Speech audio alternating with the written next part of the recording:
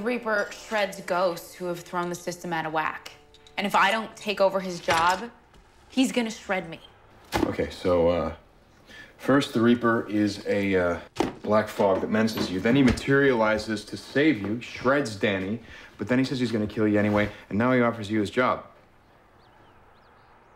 You can take the sarcasm out of your voice, but yeah, that's basically it. I think that this Reaper is a poltergeist with limited social skills who's messing with you. I saw him rip Danny to confetti in front of me. This ghost is a Reaper. You have to believe me. Okay. I'm, I'm sorry. I, Josh doesn't know any of this. So after your shift, we will go out and get properly obliterated. We'll cry it out, drink it out, throw it out. You want to come? I do. No.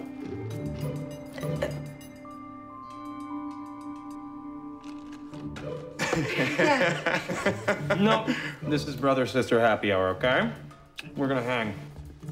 I can't anyway, Emily, but thank you. You have classes anyway, don't you? Uh, At this point, it's statistically impossible for me to pass. Plus, I got friends to see. Bye, Aidan.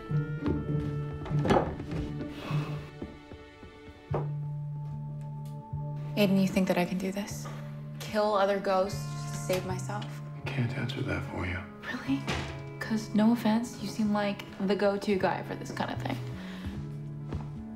Every monster has his or her own uh, threshold for violence.